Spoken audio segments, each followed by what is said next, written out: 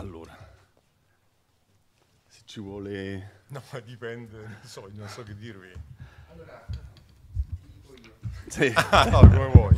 No, non ti dico nulla perché eh, è un po' come ti, ti trovi nella posizione del, eh, del tuo interlocutore di cui ci hai parlato ieri, no? Non eh, ti trovi in difficoltà nell'aggiungere qualcosa a quello che... No, l'unica cosa che posso dire è che, mh, vabbè, è che questo è un documentario, non un film etnografico. Certo. Cioè la distinzione tra film etnografico e documentario vabbè, è ovvia. Per esempio un ottimo esempio di film etnografico è L'albero degli zoccoli di Olmi, che è quindi una, cioè una ricreazione. Questa qui è semplicemente una presa, ripresa, diciamo, tendenzialmente oggettiva di una realtà cioè, rituale. Quindi sono, le, sono stati girati in tre anni diversi, sono gli ultimi tre anni in cui loro hanno eseguito queste danze secondo il canone tradizionale, dopodiché sono finite per sempre, cioè nel senso che io l'ho riprese nei tempi che quindi era di solito loro danzano alla fine di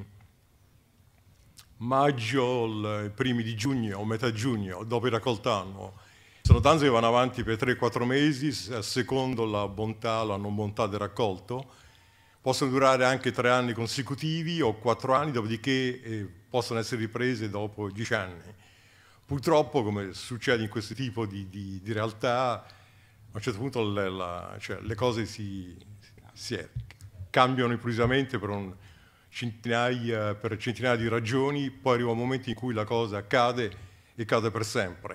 Per esempio nell'isola Kiriwina, che è l'isola prima di Kitawa, cioè che a voi è più nota per i lavori di Malinowski, già sono anni e anni che non vengono più eseguite le, le danze tradizionali, ma vengono eseguite se richieste, per esempio, se arriva una personalità, eh, cioè il primo ministro della Papua Nuova Guinea, però non sono più danze rituali. Quindi quando io dico che sono danze rituali eseguite secondo il canone tradizionale è perché rispettano appunto questo canone, cioè fatte eh, alla fine del raccolto annuo con queste decorazioni che avete viste e secondo la volontà eh, del capo villaggio e seguendo dei ritmi estremamente cadenzati, sono anche molto faticosi perché avete visto loro, cioè questo è un, frammento, loro danzano per ore e ore anche di notte e di notte per esempio non si decorano ma eseguono soltanto le musiche, hanno Caliboom che sono notti di amore in cui ci sono accoppiamenti liberi. Avete visto le ragazze sono giovanissime, sono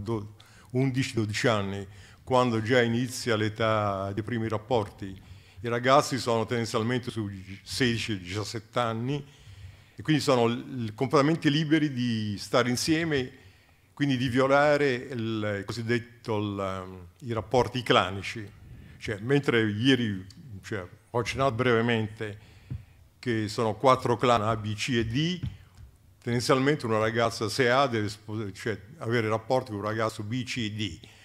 Se ha rapporti con un ragazzo dello stesso gruppo A, commette incesto. Se, avete visto ieri, A a 1, cioè tutti e due, stesso clan e subclan, è incesto massimo perché equivale all'incesto tra fratelli e sorelle.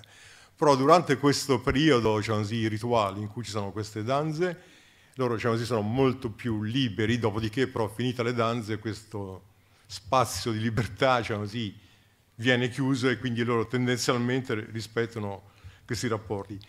Per esempio io per anni e anni ho creduto che fossero delle danze, diciamo, rituali tra virgolette, ma non avevo mai associato per esempio la danza allo scontro, alla guerra. Poi quando ho iniziato a tradurre i miti di fondazione, eh, ho trovato diciamo così, degli accenni estremamente chiari che danza, queste danze che avete visto erano danze di guerra, cioè i canti che avete ascoltato erano canti di guerra, cioè loro componevano i canti e le figure, che sono varie figure di danza, adesso vabbè, non vi voglio annoiare, e prima dello scontro fisico e dopo lo scontro, a secondo se la vittoria c'era o non c'era, loro danzavano e cantavano.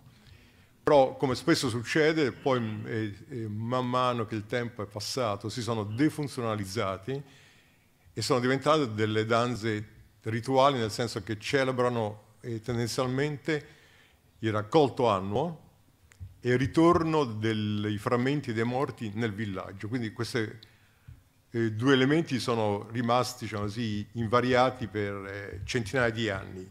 Purtroppo sono finiti intorno al, all'inizio degli anni 90 a Kitawa e nelle isole a occidente, cioè quelle Trobian di Malinowski, sono finite già da decine di anni, d'accordo? Quindi c'è stata una defun- defunzionalizzazione diciamo così, molto cioè molto precoce, diciamo così. Eh, dopo Malinowski siamo quindi negli anni 18-20, già negli anni 30-35, quando lui è tornato un'altra volta, le cose già si erano un po' sfilacciate, perché Kiruina diciamo così, è l'isola in cui c'era un residente bianco e quindi è più soggetto alla, alla presenza anche delle missioni. Kitawal e Marshall Bennett, cioè tutte le isole ad oriente di Kiruina, fino agli anni 70, erano rimaste abbastanza isolate anche per le difficoltà di comunicazione, è banale ma è vero, cioè queste, a volte diciamo così, noi andiamo in territori in cui è difficile arrivare fisicamente e questo garantisce entro certo, un certo spazio diciamo così, una, una continuità temporale. Poi quando le comunicazioni si accelerano ovviamente si accelera tutto in progressione geometrica. Io sono arrivato nel 73, ormai sono più di 40 anni e ogni volta che ritorno vedo i cambiamenti in progressione proprio geometrica, sempre più diciamo così, accelerati. La distruzione diciamo così, è, è, è, progressiva ed è completamente inarrestabile. C'è una cosa che ieri forse non ho sottolineato e che, diciamo così, che è stata un po' sollecitata dagli interventi di oggi, è che il, cioè, non è vero che quando, cioè, quando eh, c'è la contaminazione, non è affatto diciamo così, positiva. Cioè, loro perdono tutti, cominciando dalla lingua. Cioè, io, eh, per esempio, ieri qualcuno ha nominato Jack Goody, ma Jack Goody per me è stato un disastro a livello antropologico, perché il, il, concettualmente quando uno comincia ad adattare un'altra lingua, la lingua non è innocente, è asettica, si porta dietro dei concetti che spesso è estremamente complesso recuperare in un'altra lingua, in questo caso per esempio in questa zona nell'inglese. Il modo di composizione che, a cui ieri ho accennato è un modo di composizione diciamo così, orale, completamente orale, che riguarda la loro cultura tradizionale, ma quando viene contaminata, in questo caso da un'altra lingua, l'inglese, questo meccanismo mentale salta completamente in aria. C'è un periodo in cui accanto alla lingua tradizionale, quindi eh, Ieri ho sentito una poesia di Paia, lui ha composto come si componeva da 2000, 2500 eh, anni. Cioè l'inglese a lui diciamo, gli è strano, d'accordo?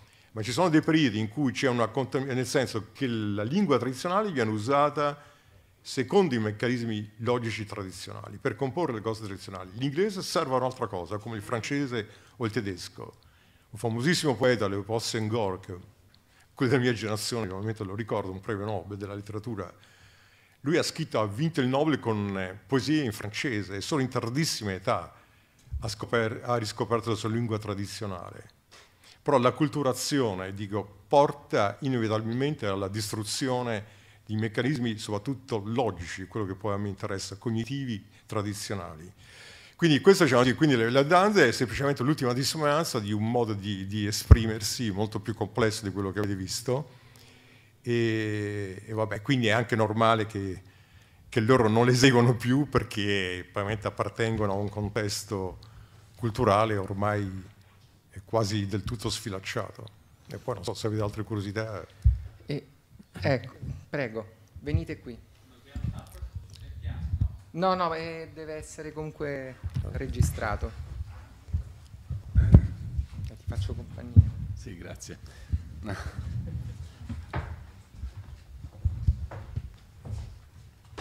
Sì, su quest'ultimo punto, che, una, prima una curiosità, eh, ne parlavamo con Vincenzo, il sonoro è, è in presa diretta oppure... Sì, è in presa diretta. Ah no, no, no cioè non sembrava in presa diretta. No, no. Perché il, ehm, il, appunto la, le due ci riprese, la prima addirittura era la Bell Double, quindi non, forse non, non l'avete mai vista, è una macchina 16 mm ma molla, perché erano, quando io iniziavo non erano disponibili pannelli solari portabili. Cioè. Poi la, le ultime parti è stato usato un Ariflex 16 mm e avendo un pannello solare potevo ricaricarla, però non era sincronizzata. Quindi le, tutte le musiche sono state registrate su nastri analogici a parte e la sincronizzazione è stata fatta eh, a livello di montaggio. Ho capito. Esatto, durante il montaggio. E, e, sì. e, poi l'altra questione invece è quella che toccavi adesso, no? cioè, eh, vedendolo mi colpisce molto perché da, dai, dai, tuoi libri si capisce un po' di più, per esempio da Malinowski non, questo livello di formalizzazione non traspare, no? invece no. sono danze molto formalizzate. Allora esatto.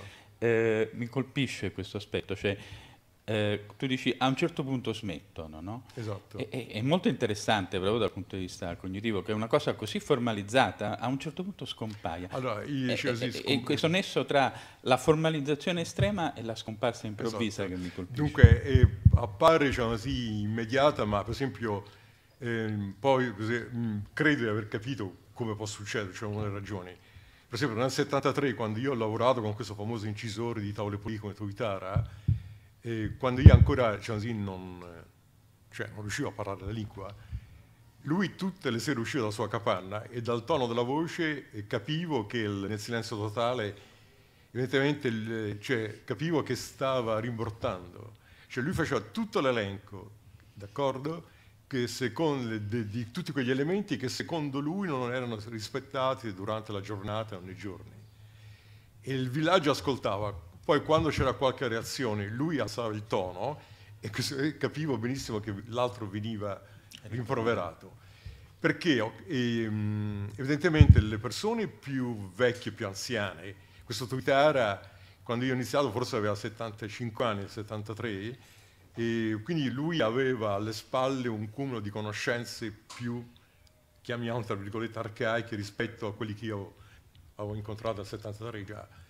E quindi lui era in grado di vedere quello che già lentamente si stava sfilacciando e lo rimproverava. Quando lui è morto, io ho lavorato con lui nel 73-74, poi sono venuto nel 75 e lui è morto nel maggio 75, io sono tornato nel 76 e quindi questa assenza di questa voce che ricordava al villaggio tutta una serie di regole arcaico-tradizionali che loro non rispettavano non c'era più. Quindi questo allora aiutava certo. nel cambiamento.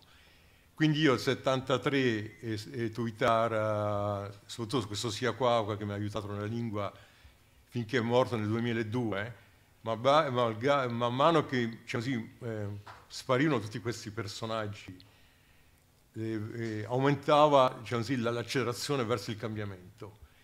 Poi, quindi, visto nel tempo, quindi qui siamo su 40-45 anni, a 40 anni c'è uno scatto che taglia di più e così via. Quindi io ho sempre detto che ho raccolto dei piccoli frammenti. Essendo una cultura dai 2000 ai 2500 anni sarei arrogante.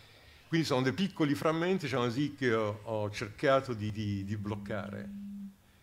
E però eh, no, non sono così stupido da non capire che eh, nel 73 ho perso de, qualcosa di estremamente importante, anche se a volte mi vengono dei dubbi che forse ci sono delle cose fondamentali che loro conservano più a lungo. Per esempio i miti di fondazione, essendo così delle cose fondanti della cultura, è come dire, penso a un cristiano che uno gli, cioè, gli distrugge la Bibbia nelle varie versioni, vabbè, cattolica, protestante, eccetera, eccetera. Quindi dire a loro che uno, eh, e quindi diciamo così, loro eh, viene difesa di più il testo sacro, e questi miti di fondazione, che sono i loro testi sacri, vengono difesi di più. Infatti li ho raccolti dopo vent'anni, cioè, perché anche loro li difendono, quindi bisogna avere confidenza. Anche queste danze, dunque la Devisa 83 mi pare il primo, e io ero già dieci anni che ero lì, quindi perché non gli davo fastidio mentre riprendevo. Qui sono queste cose, vabbè, che capite normalmente. Quindi questi testi mitici, loro che sono testi orali, loro li, li, difendono disperatamente, quindi probabilmente io ho raccolto dei testi, tra virgolette, molto più arcaici e forse meno variati di quanti potessi pensare. Perché loro hanno una casistica. Il testo, quella piccola poesia che avete sentito ieri, è stata composta dai Paia, quindi diciamo è un contemporaneo, lui adesso è morto. Però loro, per esempio, si aspettano che ci siano delle varianti, soprattutto a livello di esecuzione mentre sono, stanno molto più attenti che la variante non venga introdotta nel racconto orale del mito, una performance di un conto, anche perché sono, i testi dei miti di fondazione sono più segreti, non è che loro li raccontano pubblicamente, ci sono anche delle cose buffe. Per esempio qui dentro ci sarebbero cinque villaggi. E quindi quando io, lui mi dice vieni questa notte che io per registrare in modo che nessuno senta, dico beh, c'è lui accanto a me nella capanna, mi, dico, mi pare assurdo. Dice, oh. Quindi loro, dice, però lui sa che deve far finta di non sentire. Cioè, perché quello ti racconta il mio mito mio, del mio gruppo clanico, lui è un altro gruppo clanico, quindi non deve sentire, ma lui sente. D'accordo? Quindi c'è anche questa finzione. Lui sente, poi questo sentire, come sente Valentino, poi mi ha permesso, mi ha, cioè, mi ha fatto capire come mai loro riescono a controllare la, il contenuto del testo. Dicevo stai attenta che lui ha introdotto le varianti che sono non accettabili, oppure le, lui ti sta raccontando un mito, un testo che non è così puro. E ho detto, vabbè, questo come fa a sapere se non è il suo mito, cioè suo, perché lì sono quattro gruppi. Poi ho capito che questo far finta di non sentire però permette a chi sente poi di esercitare un controllo sul testo, cioè proprio una, è come se uno producesse delle liste di frequenza e concordanza computer. Loro lo fanno mentalmente con la memoria e questo gli permette poi di questa messa in parallelo di testi e quindi di, di dare dei giudizi sulla, diciamo, beh, sulla purezza, tra virgolette, del testo.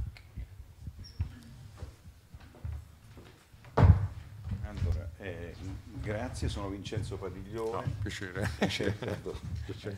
Ci siamo conosciuti una volta, ma soprattutto all'inizio del, eh, diciamo proprio della rivista che dirigo, eh, Scoditti ha voluto contribuire, per cui mi fa piacere rincontrarlo. Ah, sì? Ah. Eh sì, con un bel testo. Sì, allora, eh, curiosità, molto... Allora, quel vibrare delle foglie, Esatto. Ecco, nel eh, primo caso o nel secondo? Eh, beh, allora, eh, quel vibrare delle foglie che, so, che, diciamo così segna e che io ho, ho, visto anche in un documentario sui trobriandesi, quindi mhm. probabilmente...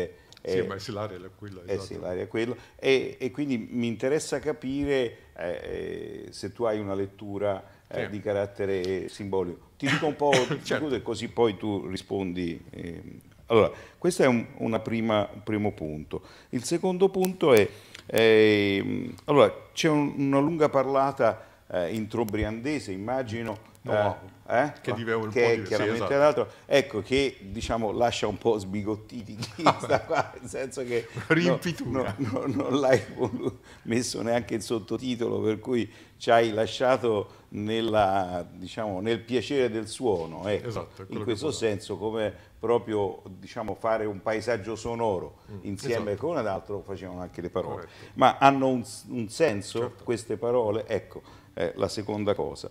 La terza è più direttamente pertinente con eh, quello che diciamo il tema nostro. Questa, allora, tu hai diciamo, segnalato questa sperimentazione diciamo, erotica durante e anche diciamo, al di là delle proibizioni classiche certo. che ci sono durante il periodo del rituale. Uh -huh. Allora, adesso quando fanno questo rituale prevalentemente in omaggio ai politici, tu percepisci che si, questi confini, eh? questi confini sono sempre liberi oppure è proprio un contesto ormai diverso dove mm. i missionari hanno colpito, perché poi il nucleo certo. principale di queste cose sì, sta, sono, sono i missionari. Ecco. Certo. Grazie. Grazie. Allora, allora la... eh? anche la plastica. Anche la plastica. Ah. Ah, certo, come no? Le bottigliette di... che stanno al centro sono vestiti occidentali, no? I suonatori, i cantori, sì, sono maglioncini. Sì, sì, sì. Allora, la, nel primo gruppo de, di danze dette Bisila, l'unica foglia che avevano in mano, che è di Pandano, quello, è, infatti se non so se vedere, era, alludeva vagamente alla forma di un serpente. Ed, è, ed era questo serpente Monichiniki o Muata, che è un eroe mitico, cioè uno degli eroi diciamo così, mitici di, di, di, di quest'area, soprattutto di, Kitawa, che secondo la mia interpretazione sarebbe, diciamo così, tra virgolette, l'architetto dello scambio rituale e il primo progettista delle famose canoe cerimoniali, d'accordo? Quindi, eh, infatti, la prima danza le devise sono più morbide, eh, sono i canti anche, eh, cantano, diciamo così, il, la canoa quando, quando il, il, così, il rullio della canoa, la canoa che affonda, la, la vela, eccetera, eccetera. Quindi è molto più, più anche allude ad uh, uccelli marini, tipo l'aquila marina, la, esatto, la, al fregatario, che sono dei simboli estremamente importanti e poi nello scambio rituale. Quindi nel secondo caso entriamo invece in una fase, quelli sono tipiche diciamo così, movimenti, figure di danze eh, guerriere, non so come si può dire.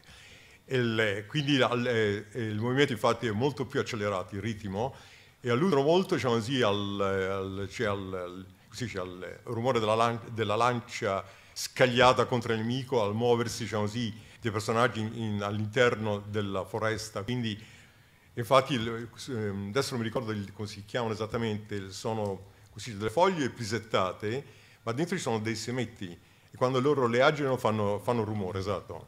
E quindi c'è un'allusione anche ai rumori del... del perché lì, eh, vabbè, le, questi scontri sono dei scontri anche ritualizzati, erano. Io ho assistito a 8-9 scontri, diciamo così, violenti tra i vari villaggi, non sono così tranquilli. E spesso loro si scontrano nel, nella foresta, ci sono le, l'imboscate della foresta, quindi c'è questa allusione continua anche diciamo così, a questo ambiente un po' più guerresco e credo si capisse... E la marcetta è anche... Com'è? Sembra Sì, esatto, sì.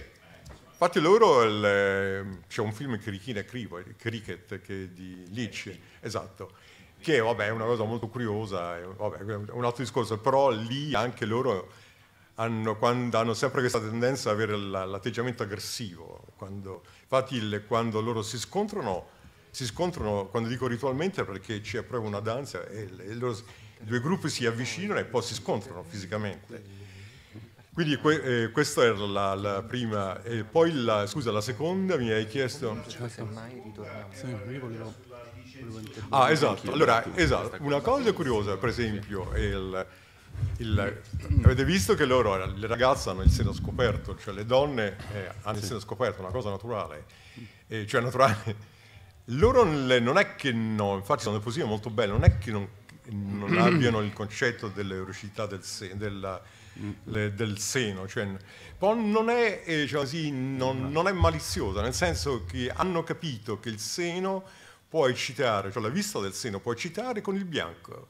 E credo che questa cosa sia passata all'inizio attraverso l'esperienza dei missionari, non ho dubbi, ho anche altre testimonianze, ma questo vabbè, diventa un po' un pettegolezzo. Però l'erocità del seno è una cosa indotta dall'uomo bianco, perché il, non è che loro non abbiano piacere nel farsi toccare il seno, però non è così, diciamo così no, è privo di qualsiasi così, connotazione, connotazione, maliziosa. E infatti eh, questo l'ho detto semplicemente perché hanno, eh, si arriva il primo ministro Michael Somare a Chirovina, Pulayas, il paramount chief, e diciamo così, dice alle ragazze di, di, di, appunto di, esporre il seno il più possibile, mm-hmm. perché le, loro questo, diciamo così, questo concetto l'hanno percepito esclusivamente dai bianchi che, che, sono stati prima i missionari, poi le, gli inglesi in quest'area poi ovviamente gli amministratori, quando c'è stata l'amministrazione fiduciaria australiana e ci sono Kiruina, quando si dice l'isola dell'amore che è un'idiozia totale, è semplicemente perché eh, alcune agenzie turistiche, immagino australiane, a volte organizzano dei weekend per i signori australiani ricchi e anche per i giapponesi a Kiruina. C'è il Kiruina Lodge, che è stato famoso per un certo punto per questo aspetto, il, il, tizio che lo diceva, un, diciamo così, un porcellino inglese, lo chiamavo io, è stato addirittura speaker del Parlamento, il primo Parlamento della Papua Nuova Guinea, un pedofilo notissimo. No, no, è stato speaker del, del il primo speaker del primo Parlamento, eh, eh, io, Mr. Young. Quindi questo per il, poi il, quindi c'è questo aspetto esatto che non c'è, le, ovviamente la, la, danza tradizionale, quelle che avete visto, le, sono occasioni di amore. Poi sono, le ragazze che avete visto sono ragazze eh, che dopo cominciano i, suoi, cominciano i loro accoppiamenti durante la notte e poi chiamano tra virgolette lo sposalizio. Va bene? E beh, quindi è, è un eh, erotismo completamente loro, cioè completamente gestito da loro. Eh, l'erotismo, questo nuovo, è sollecitato, è stato sollecitato dai bianchi e soprattutto dai missionari io ho avuto degli scontri violenti con il vescovo cioè così, del, da Mill Bay, eh, perché lui riteneva queste, andava da Pulayasi a dire che questi tipi di danze sono oscene E ovviamente il concetto di oscenità a loro gli è estraneo, cioè appunto quando parlavo di concetti, traduzione dei concetti, e Pugliasi chiedeva a me cosa, cosa volessi dire e io gli spiegavo cosa significa oscenità e lui ovviamente rimaneva allibito e quindi dice perché io devo interrompere qualcosa che ha un significato completamente diverso per noi. Allora il vescovo non contento è andato alla carica dicendo che c'è una malattia, l'AIDS, che si stava spargendo, di cui loro non avevano minima conoscenza e, e, e, quindi che queste danze potevano, e lui di nuovo ha chiesto a me Pulaiasi e ha detto voi come fate, voi bianchi? Io, bah, no, dico ci sono i condom, dico, e lui si è fatto spiegare cos'era, il vescovo quando è andato dalla carica ha detto Giancarlo mi ha detto che voi usate, questo ovviamente si è infuriato, allora cosa è successo? Una cosa ancora più bassa secondo me e più sottile intellettualmente, una suora che una laureata in psicologia, io temo psicologia devo dire, cosa ha fatto? Non ha attaccato frontalmente dicendo che l'AIDS, cioè quindi di smettere i rapporti, perché erano rapporti ovviamente molto innocenti, tra virgolette, lei si è fatto mandare delle diapositive dei condoms che arrivano dalla Cina, e quindi il, il cui materiale, il lattice, si deteriora, quel caldo lì siamo a 40 all'ombra, a 100% umidità si deteriora e quindi si è fatto mandare questi cioè, condom completamente deteriorati, cioè, con tutti i buchi, dicendo voi potete benissimo continuare, però esatto. Quindi è questo per farvi un po' capire poi così, il contesto quando cambia. Poi l'ultima domanda. Eh, signore. Eh, un, erano tre, esatto. Le, no, forse ah, no, c'è un'altra. Ah. Allora, il testo sono dunque perché mh, mm, allora io non sono un un cineasta. Quindi questa cosa per me è un documento. Anzi, mi spiace perché quelli sono stupendi, mi sono molto meravigliato di averli visti, vi confesso, così sfocati. Adesso non so se l'apparecchio per la luce, perché sono molto... L'unica cosa tecnica che ho salvato, perché stranamente non è il mio merito, e cioè i colori sono estremamente ottimi. Però quello vuole dire, non, non essendo un cineasta, io ho, ho, ho ripreso queste cose come cioè, dei prelievi di documenti quindi non avevo neanche intenzione di montarli, detto chiaro e tondo. Poi ho cercato di, quindi ho detto vabbè forse è bene montarli, ma non volevo neanche appesantire con, eh, diciamo così, con un testo per spiegare tutto, quindi eh, ho detto poi eh, facendo questa sincronizzazione e sincronizzazione alla Maviola, diciamo, le, ho detto vabbè allora metti, preferisco mettere le musiche, limitare diciamo così, con lo speaker un testo un po' che guida e, e lasciare sotto lo sfondo appunto, raccontavano appunto, la storia di queste danze, appunto sono danze che erano state eh, le figure di danze, i canti, i canti di guerra. Sono nati così. Forse questo può essere utile anche per qualche altro campo, però ormai percepite da... Loro si, scont- si sono scontrati, io fino agli anni Ottanta ho registrato scontri violenti tra i villaggi di Kitao, d'accordo? E loro raccontano ancora di, di scontri ancora più violenti e, qui, e quindi loro le danzavano e cantavano, e prima dello scontro e dopo lo scontro. O per festeggiare ci sono dei canti molto belli in cui loro piangono le, gli eccessivi eh, numero dei morti oppure cantano l'oricità di alcuni, eh, diciamo così, di alcuni individui. Per esempio, nei canti eh, sono incapsulati la cosa, eh, che, la cosa, che, è molto importante, sia gli, gli autori del testo, eh, come quello di ieri, e sia anche i nomi ah, di poeti e poetesse, sia ben chiaro, come cantori e cantatrici, come sono incapsulati eh, i nomi di alcuni personaggi famosi, cioè di capovillaggio che sono stati estremamente eroici o che hanno guidato vittoriosi uno scontro. Mm, quindi, questo, quindi questo mm, racconto sotto, ero molto indeciso se, poi dico, se faccio scorrere il testo, dico, non so, no, onestamente mi sembra, perlomeno dal punto di vista mio, un po' complicato si può anche fare volendo, eh. cioè uno mette accanto però diventa un altro tipo di montaggio, ma si può anche fare, certo. Grazie. Prego.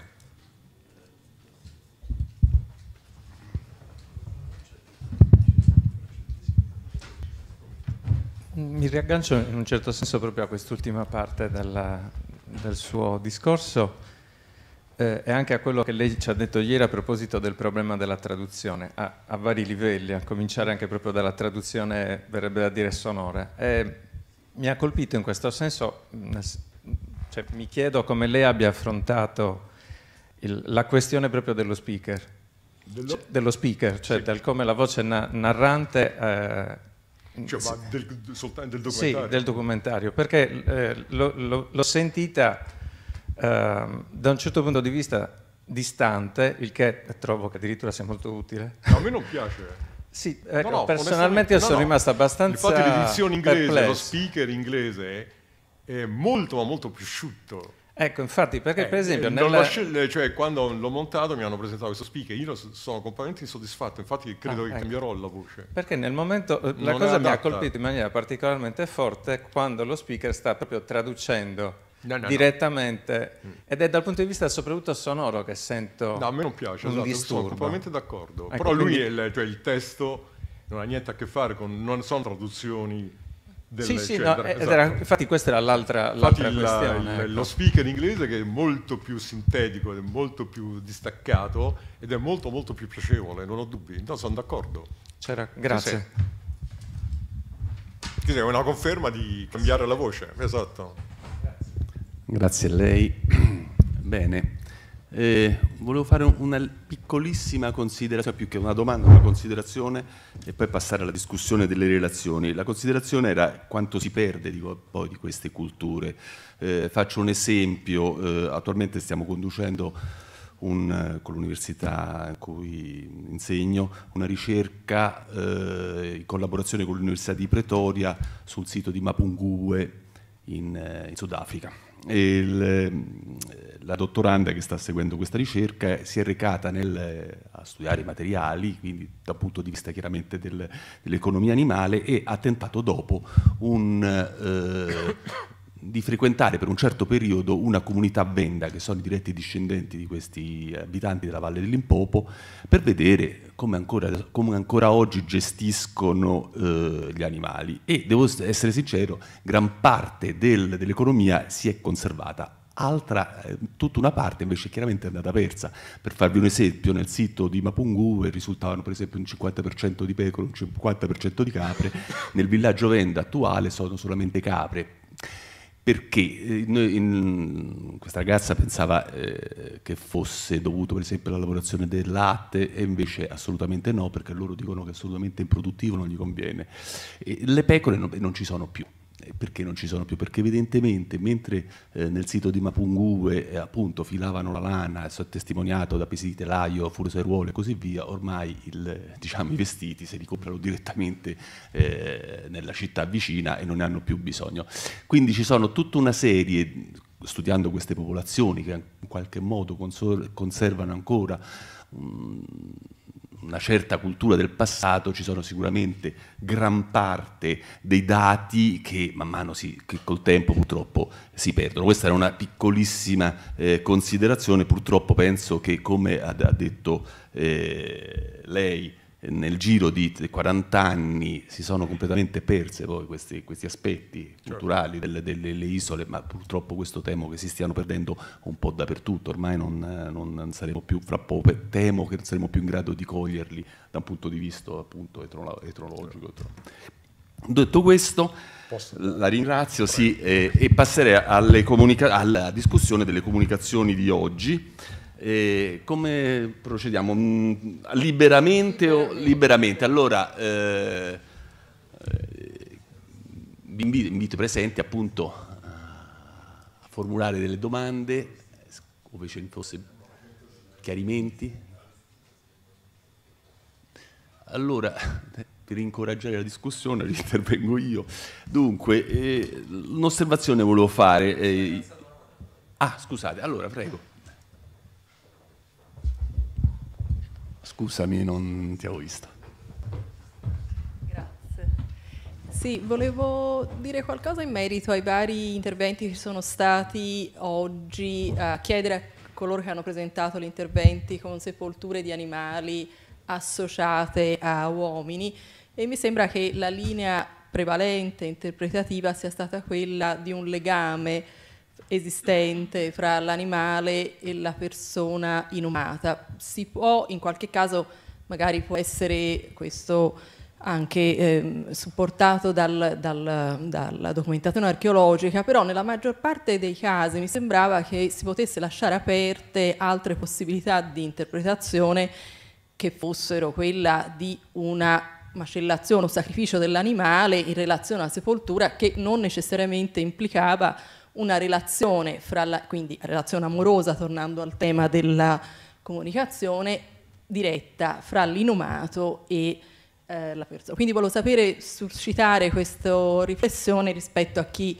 appunto ha parlato di questo tema, se mi può un po' chiarire eh, se prendono in considerazione anche queste altre possibilità che forse nel mio ambito, che è il vicino oriente, è abbastanza presente anche il sacrificio animale in accompagnamento sepolture. Beh, il, il, problema non è così semplice a, a, a dividere. Allora, mettiamo le cose in questi termini. Almeno nei casi delle sepolture che ho presentato, i cani erano stati comunque sacrificati, cioè i cani erano stati uccisi al momento dell'eposizione della tomba. Quindi evidentemente bisogna capire la motivazione del sacrificio. Nel caso della cosiddetta tomba della vedova, che per inciso, come giustamente mi ricordava Sandro, il sacrificio della vedova rimane nella tradizione palennologica, ma è ormai documentato che non è eh, un sacrificio, nel senso che sono i roditori che hanno rotto il cranio della, della vedova, però il sacrificio del cane all'ingresso può avere la doppia valenza del cane oggettivamente della famiglia o del sacrificio sulla soglia, quindi queste due cose andrebbero parimenti allo stesso modo. Ovviamente mi sentirei abbastanza ragionevolmente portato a ritenere il cane sacrificato e collocato ai piedi diretti del defunto e ovviamente nell'età del ferro i due cani di Matelica come direttamente collegati al, al, alla figura del personaggio e quindi a, a dei cani che avevano una relazione particolare con questo. Che quei cani fossero veramente i cani di sua proprietà o rappresentassero uno status simbolo a questo collegato,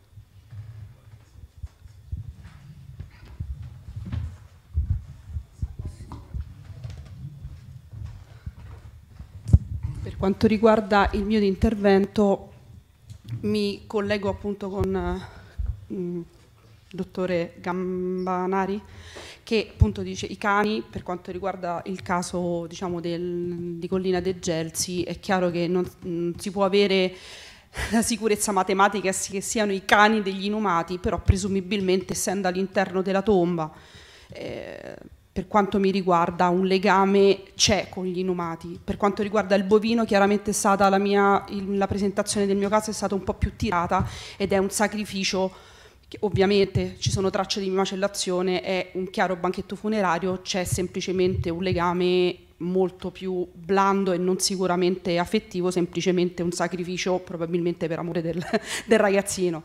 Per quanto riguarda l'equino, eh, diciamo che l'ipotesi che si è dato è perché sta in una, veramente una zona densa di sepolture e sta tra due sepolture. Ovviamente non si ha la certezza matematica a quale sepoltura sia legato, però data diciamo, l'età avanzata, data anche la patologia, si presume che poi ovviamente le certezze in questo campo non si hanno, però diciamo, si può distinguere un, diciamo, un sacrificio con tracce di macellazione per quanto riguarda il bovino, per quanto riguarda i cani secondo me c'è più, e per l'equino c'è più un, un legame che va oltre.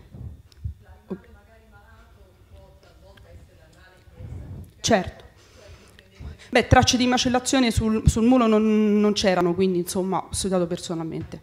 Quindi posso, sui cani studiati personalmente non ci sono, sul bovino studiato personalmente ci sono. Ok. Sì.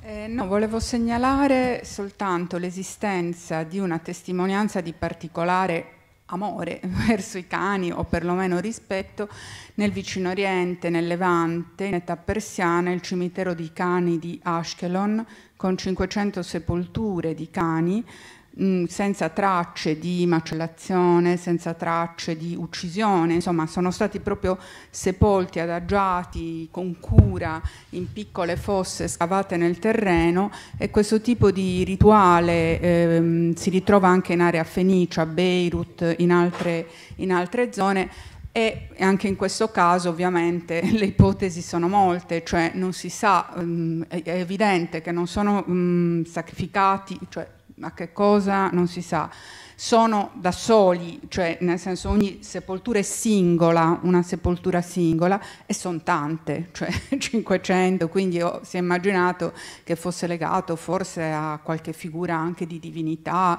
eh, so, Gula in Mesopotamia è l'animale, di, però siamo in un'altra area e quindi rimane aperto a chi potesse essere, cioè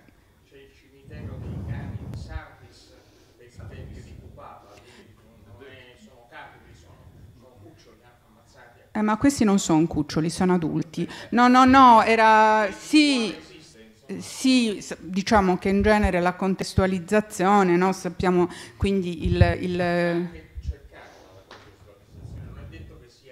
No, guardi, io l'ho cercata perché... esatto, questo invece è al lato della città un'area dedicata. Vabbè, comunque era solo per dare un contributo. Ci sono, eh, scusa un attimo, ci sono anche casi da noi eh, di, di, necro, di, cimiteri di animali, per esempio a Fidene e a, eh, sulla Nomentana Palombarese, quando lavoravo alla Sovrintendenza Archeologica di Roma, abbiamo, ho studiato i cani di due cimiteri esclusivamente, uno era esclusivamente di cani, quello sulla Nomentana Palombarese, quindi tombe, fosse con deposizioni di cani.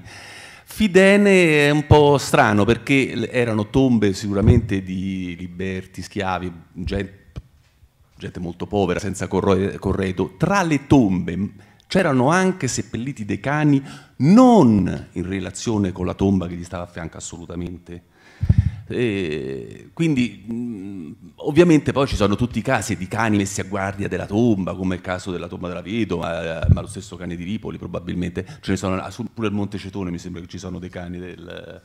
Ma quindi bisogna distinguere. Il problema del, del sacrificio del cane, del sacri... insomma è, è molto complesso è molto complesso, c'è delle valenze molto diverse, per esempio a Lugnano in Teverina eh, c'è un cimitero di bambini di V secolo dopo con cani squartati, ma lì ci sono rituali magici che sono abbastanza, abba, neanche religiosi, magici, magici, ma cagnolini squartati in due, una parte messa con un bambino, un'altra parte messa con l'altro, addirittura le mandibole separate, una parte da una parte, cioè complica, complicatissimo come... Eh, per quanto riguarda l'equino, lì bisogna stare attenti, molto attenti. Eh, tanto pensate, ma questo equino siamo sicuri che è connesso con le tombe, non sia una cosa successiva, sono state fatte delle datazioni? Perché proprio oggi si inaugura la tomba dei demoni azzurri di cui abbiamo studiato i resti di cavallo e siccome era molto sconvolta... Eh, no, no, anzi oggi purtroppo l'inaugurazione ai visitatori intendo, al grande pubblico. E, il cavallo, siccome il Dromos era particolarmente sconvolto da scavi clandestini, io prima di azzardarmi a dire che quel cavallo appartenesse alla tomba, fece effettuare, fece effettuare delle datazioni al carbonio 14 che poi confermarono pienamente. A Verucchio, per esempio, ci sono due, due fosse con cavalli sacrificati, di cui Filippo ben, ben sa, e a est, ecco, est, quelle sono ecco, le tombe di Lebrustolade, di Altino, eh, di, di, di, Padova, quelle sono, son, eh, sono, veramente casi di sepolture animali completamente scollegate dall'uomo. Cioè l'unica, l'unica che, che, è stato seppellito, sì, ma sembra che sia stato la, l'uomo che sia stato sacrificato per l'animale e non viceversa.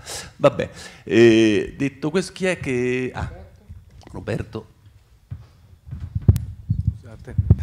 se, torno, ma, eh, volevo porre una domanda ad Alessandro eh, per, per, quanto riguarda la, la parte eh, relativa a, eh, che, che, tu hai anche già sottolineato, del fatto che per, a lungo c'è stata una rappresentazione di alcune tipologie di immagini anche molto efficaci dal punto di vista realistico, naturalistico, invece certe scene, che, quelle che tu hai mostrato, eh, che sembravano essere volutamente ambigue o addirittura rozzamente rappresentate. che, che, spiegazione ti sei data da questo punto di vista? Anche perché sembrerebbe essere a questo punto una scelta voluta. Io penso di averlo detto, cioè io credo che quando arriviamo al carrello di Bisenzio, poi all'arte delle sidule, eh, entriamo in un territorio completamente diverso, cioè una società talmente complessa che del sesso non ha una concezione che hanno nel neolitico, nel paleolitico, dove eh, non sappiamo ovviamente cosa facevano in vita, ma probabilmente era dal punto di vista della rappresentazione un qualche cosa di ambiguo, misterioso. Adesso mi, vorrei chiedere a Scoditti, a parte la libertà che lui ha riscontrato sul campo, quante sono le rappresentazioni artistiche o di qualche tipo, cioè se questa gente ama rappresentare, questa è la cosa eh, interessante. Per favore al microfono, al microfono perché, perché poi so tocca cioè io credo, io non lo so perché non voglio fare un comparativismo no, no, facile no, perché è stato già qui detto la rappresentazione visiva in quest'isola è totalmente schematica e astratta, totalmente. Il, perché io non vabbè, siccome mi sono stancato di far vedere le famose canoe cerimoniali la, le famose tavole policome e quello per esempio è un documento visivo scritto estremamente sofisticato perché è basato addirittura su un calcolo intuitivo sul, della sezione aurea, d'accordo? Che loro l'hanno dedotto guardando probabilmente per centinaia di anni la, eh, come si chiama, la, eh, la mm, mi viene il termine, le, la conchiglia... Esatto, esatto. Quindi che cresce nell'isola quindi, il, il, quindi, lo, schema, quindi hanno, lo, schema è dedotto dalla sezione aurea a livello intuitivo. Poi la rappresentazione, chiamiamola, cioè dei, dei segni grafici della tavola policoma, sono tutti ricavati attraverso un pass, passaggi molto complicati che loro hanno spiegato chiaramente, di carattere eh, per arrivare proprio a una massima sintesi e schematizzazione. Quindi a livello diciamo così, figurativo loro sono estremamente schematici, per cui addirittura se uno può interpretare il cosiddetto significato simbolico volgarmente, eh, loro stessi mi hanno detto eh, forse, forse potrebbe rappresentare sia il volto e il corpo dell'eroe mitico, cioè questo Munichinica a cui ho accennato prima, che avrebbe progettato la prima tavola policoma, però loro dicono forse sì, forse no L'interpretazione simbolica, cioè del significato del, dalla tavola, loro la, la, la deducono dagli, dice, dagli, antenati, cioè gli antenati ci hanno detto che forse la rappresentazione, però nessuno di noi può dire con certezza che rappresenta questo eroe, perché l'interpretazione simbolica, cioè dei valori di una figura, il, è estremamente arbitraria. Cioè, dice, tu puoi capire le, le, lo schema della tavola, cioè che questa tavola è dedotta dalla conchiglia, eh, perché è certa, nel senso che anch'io che sono così, non appartengo alla cultura, ci sono arrivato attraverso le spiegazioni, quello la capisci, mentre non puoi capire in modo assoluto la, il significato simbolico, perché il significato simbolico di per sé, per loro, poi di per sé, già per loro è totalmente arbitrario, è il mondo dell'incertezza. Addirittura hanno un termine, utubobuta, che tradotto in italiano è supporre supposizione. In questo senso. Quindi l'arte chiamiamo di quest'area, cioè quella che a voi vi è nota come torbiandese del, è, un, è, una, è un'arte all'interno della Panaguinea estremamente schematica e astratta. Sì, no, no, noi parliamo so, soprattutto dell'aspetto delle raffigurazioni di tipo sessuale. Mm, a, su, queste tavole che non le viste c'è anche un accenno eh, e c'è uno scudo magico ma è molto astratto. Poi non... Eh, potrebbe, ci sono del, forse degli organi anche, cioè, si dice, il pubel, poi il eh, non, non, non, c'è certezza che in questo no, senso. Quello eh. che volevo dire, per esempio, lo specchio di Castelvetro poi è particolarmente importante perché in quel caso, come secondo me ha dimostrato bene Zachetto, l'atto sessuale diventa addirittura una eh, sanzione della riuscita del matrimonio, quindi non ha più solo un aspetto, diciamo, eh, diventa eh, qualcosa di, di, particolare con un valore sociale, perfino economico. Ecco. Questa è la differenza.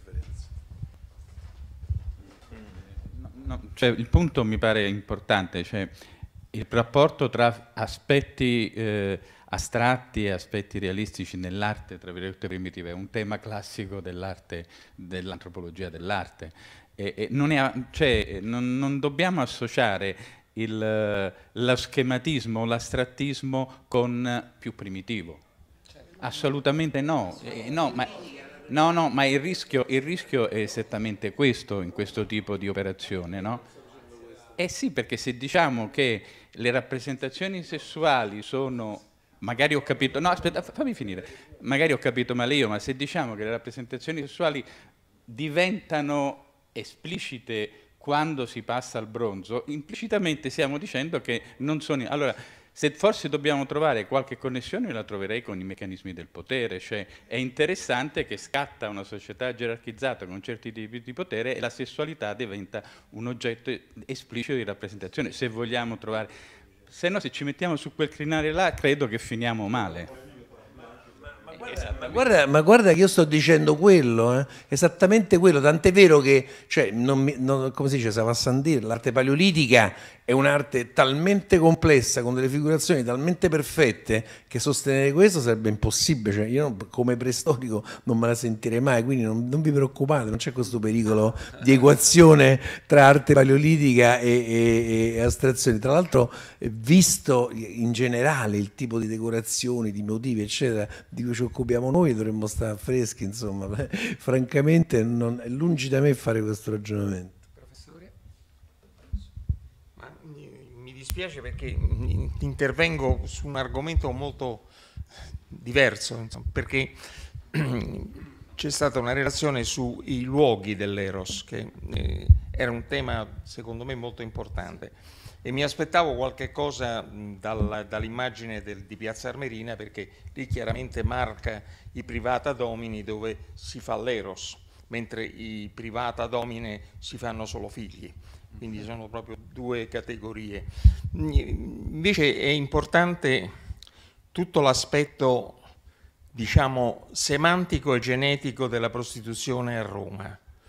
Dunque la prostituzione a Roma non nasce nel secondo secolo, ma nasce ufficialmente nel 295 con la dedica del Tempio di Venus Obsequens fatta da Fabio Gurgite al Circo Massimo ed è, ed è fatta perché lui, come edile, multa le matrone colpevoli di adulterio, sono stupri damnatas, cioè sono date in pubblico.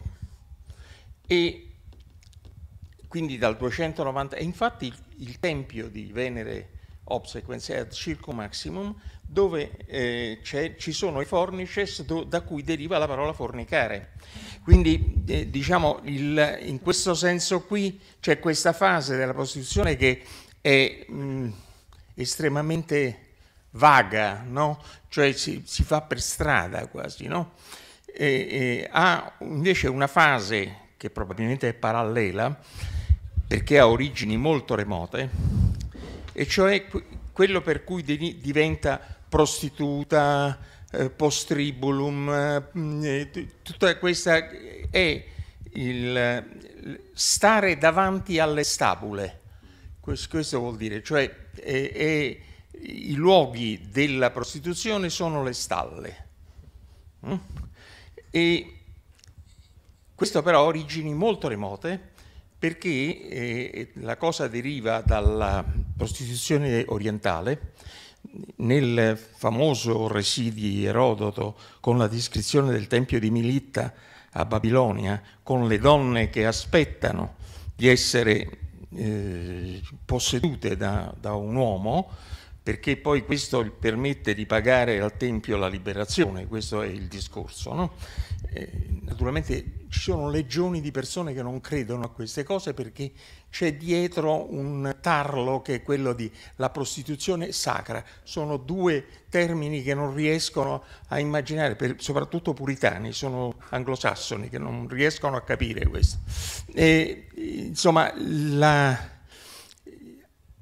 eh, Anacreonte, questo è un frammento piccolissimo di Anacreonte, dice che la, la definizione di una prostituta è anzi sono due, Anasurtopolis e Fteiropule.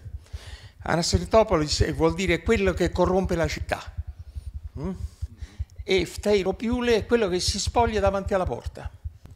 Quindi diciamo c'è un rituale che è di tipo orientale che è contenuto addirittura nel papiro di Colonia, quello, anche questo è un pezzo celeberrimo di, di Archilogo che non è stato capito, perché è tutto giocato con allusioni al linguaggio della prostituzione sacra e, e dice infatti che lui eh, ci sono molte altre cose che la dea può, può consigliare al di fuori del toteion crema, della cosa divina, cioè l'atto sessuale pieno.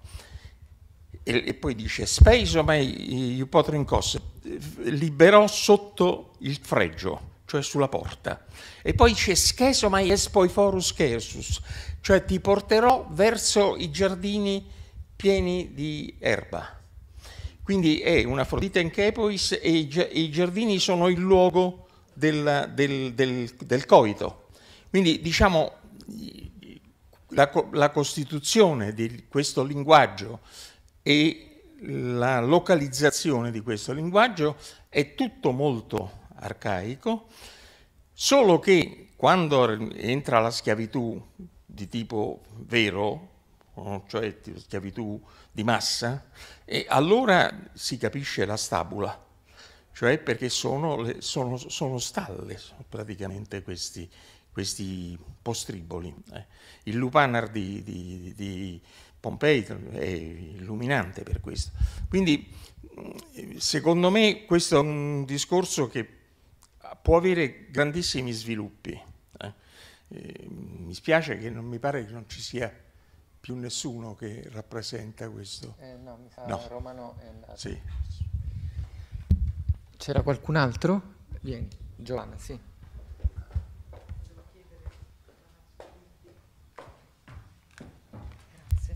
Eh, no, intanto a parte l'interesse veramente per, eh, per, questo filmato, siccome lei spesso ha parlato di antenati, volevo capire il concetto di antenati per questo gruppo, mh, mm, il concetto del tempo, della memoria, perché in alcune popolazioni a me è capitato di vedere anche in alcune zone dell'Africa di Ehm, si riferiscono, diciamo, si parla appunto di questi antenati, poi ci sono delle tombe, diciamo, nelle vicinanze, ma non vengono associate in qualche modo al tombe, certo, no, no, ma infatti mitici appunto, però mi, mm, faceva, mi interessava capire se c'è eh, che tipo di concetto del tempo c'è, del passato, ecco, e della memoria, quindi. Non è semplice, ma cerco di... Grazie.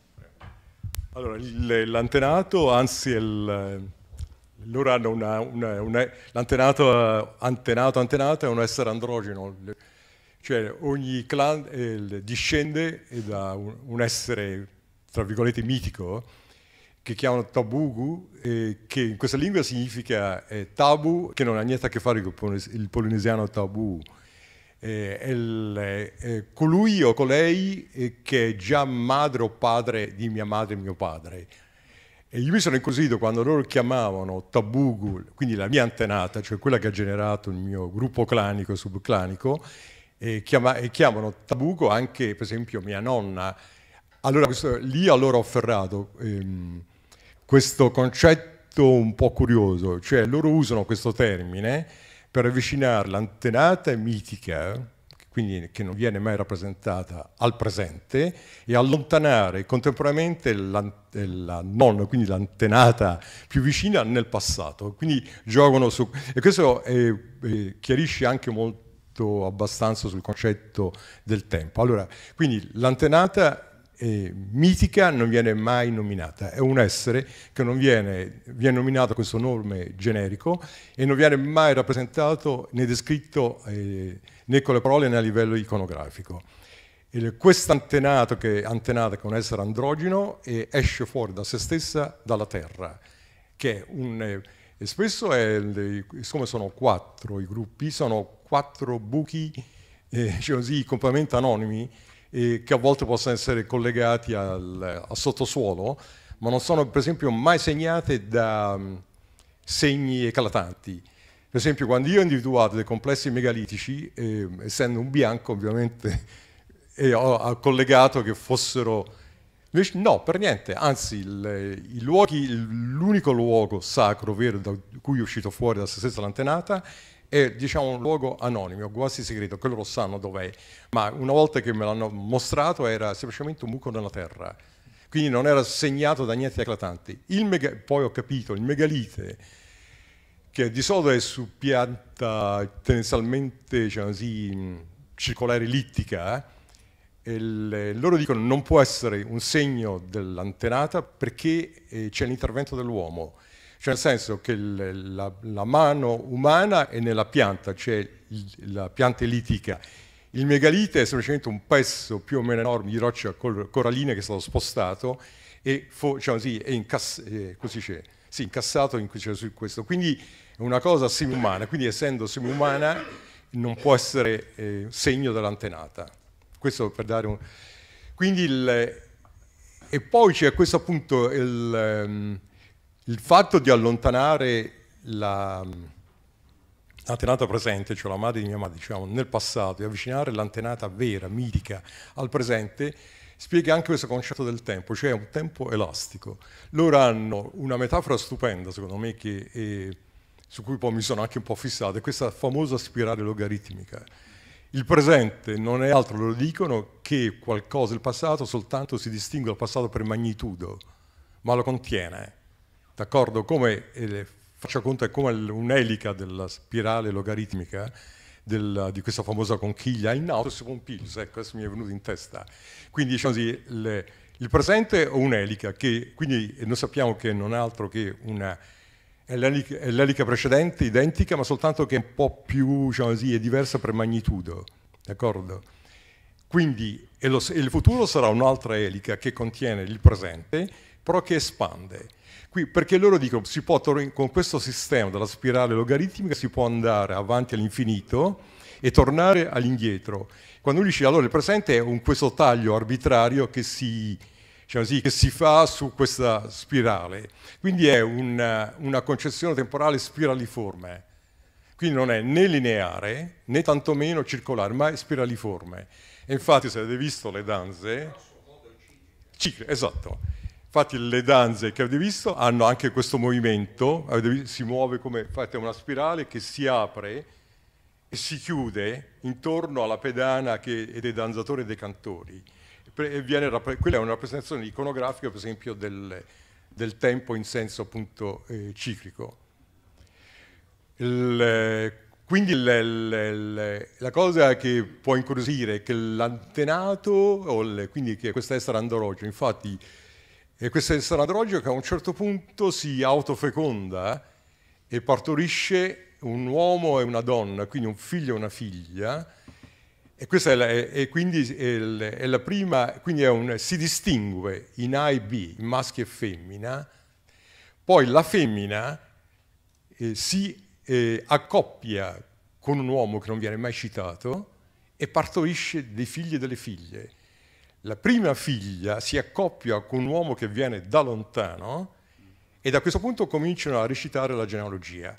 Quindi mi pare ovvio, visto il terrore che hanno dell'incesto tra fratello e sorella, ma mi pare, ho dedotto che probabilmente questo terrore è dedotto dall'immagine di questo incesto, chiamiamolo primordiale, perché ovvio quando l'antenata, autofecondandosi, e partorisce un figlio o una figlia e questa figlia si accoppia con qualcuno che non viene citato, non può che essere suo fratello. E ancora oggi, quindi io l'ultima volta del 2014, il, eh, se io sto parlando con un mio amico, per esempio con Valentino, e, il, il, e si avvicina a sua sorella, lei fa tutto un giro complicatissimo, quindi gira tutte le spalle, poi si mette accanto a lui e a questo momento io posso parlare anche con la sorella.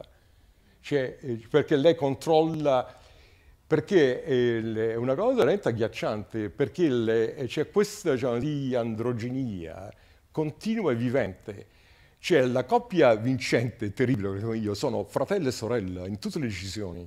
Nella divisione della terra, un, un uomo non può lasciare nulla di materiale al suo figlio, ma la deve lasciare ai figli della sorella, perché essendo matrilineare e c'è un controllo ossessivo della sorella. Quindi un uomo lascia ai suoi figli i beni immateriali, un canto, una figura di danza, per esempio uno di questi simboli dello scambio rituale e così via, ma il bene materiale è controllato esclusivamente dalla donna, che controlla ovviamente anche la terra. Quindi non so se ho risposto. Allora, siamo arrivati all'orario, ehm, dobbiamo chiudere. Avrei delle riflessioni flash che sono i supporti, tutta l'iconografia dell'amore esposta da Alessandro naturalmente va legata al luogo in cui quelle raffigurazioni erano collocate e al supporto, alla sua funzione e anche al luogo in cui poi questi oggetti possono essere trasportati e quindi risemantizzati. La corporeità, quella animale, quella umana, che altera naturalmente, cioè anzi che ci può guidare nell'interpretazione di una società eh, rispetto al modo in cui si pone in merito a ciò che considera umano o non umano, che può essere un oggetto inanimato, un animale, un bambino, un uomo o nessuno di tutti questi, in, o uno straniero. I bambini e gli animali possono essere effettivamente degli elementi molto interessanti per cercare di individuare un codice interpretativo rispetto all'interpretazione stessa che una società dà dell'umanità. E poi appunto io ringrazio Giancarlo perché effettivamente questo video che abbiamo potuto vedere e nel quale lui proprio le sue parole ha detto ho cercato di recuperare frammenti ci insegna quanto noi forse a volte perdiamo di vista come archeologi nel nostro eccesso di materialità. Io osservavo i piedi sulla sabbia e immaginavo l'assenza appunto di tracce di quello che avremmo voluto ricostruire rispetto a, a, tutto quello che tu ci hai raccontato e che hai potuto osservare. Osservavo le case sullo sfondo, immaginavo i buchi di palo che avremmo trovato e nient'altro, così come il palo che era al centro di quella rappresentazione. Recuperare frammenti, impronte nella sabbia, interpretarle, confrontarci con la cultura, osservare come scompare nel momento in cui non la osserviamo e la nostra osservazione spesso porta a farla scomparire. Ecco, non c'è modo per spingere oltre questi concetti, ma volevo soltanto trasmettervi non solo l'emozione che provo ogni volta che ho la fortuna di organizzare occasioni come queste e quindi imparare da voi ciò che poi ritengo per me altamente formante, ma volevo anche nel restituirvi questa emozione, sottolineandola, incoraggiare non chi è in questa sala, perché solo il fatto di essere rimasti fino a quest'ora e con questo caldo qui dimostra che il coraggio lo avete, ma magari chi è fuori, chi vede questo video, chi leggerà gli atti, a cercare di recuperare quei frammenti con questa coscienza, con questa attenzione nei riguardi di quelle emozioni che Alessandro ha citato all'inizio in quel brano di Levi Strauss, che guarda caso era